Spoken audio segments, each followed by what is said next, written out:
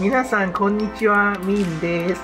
えー、隔離期間がついに終わりました。はい。まもなく、えー、23日にホテルからチェックアウトで、え、東京にある新しい住所へ向かってます。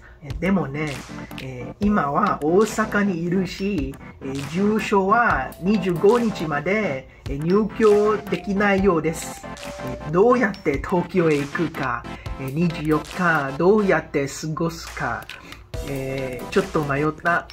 今決めたのは、えー、23日夜行バスに乗って、24日、えー、カプセルホテルで泊まります。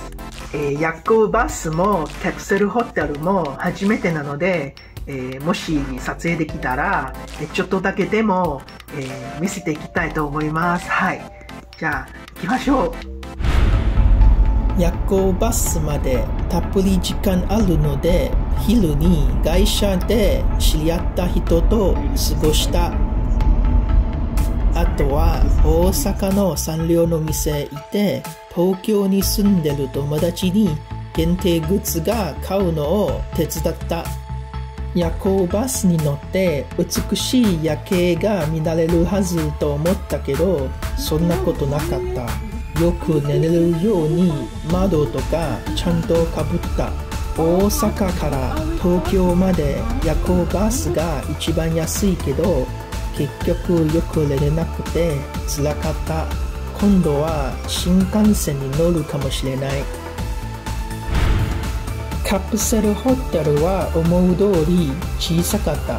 だけどプライベートのための目隠しシートがあって気楽ができた。